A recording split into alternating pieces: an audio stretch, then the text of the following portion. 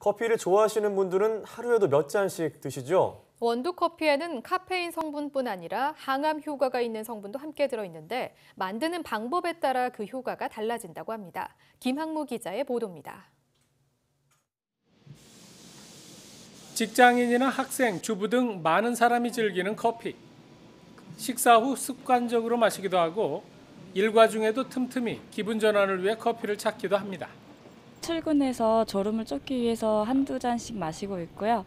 어, 또 집중도 되고 또 어디서 노화 방지 예방에 도움이 된다 그래서 즐겨 마시는 편이에요. 흔히 아는 커피 성분은 각성 효과가 있는 카페인. 하지만 카페인 성분 외에 항산화와 항암 효과가 뛰어난 클로로젠산도 듬뿍 들어 있습니다. 그런데 이 클로로젠산 성분은 원두 커피를 만드는 방법에 따라 함량이 달라집니다. 커피 원두를 많이 볶는 것보다 적게 볶을 때 클로로젠산 성분이 2배에서 4배까지 많아집니다. 원두 가루가 큰 French press 커피보다 고운 에스프레소 커피에서 최대 86%더 많이 추출됩니다.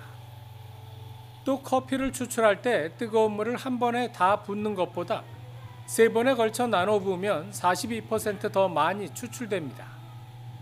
하지만 주의할 점도 있습니다.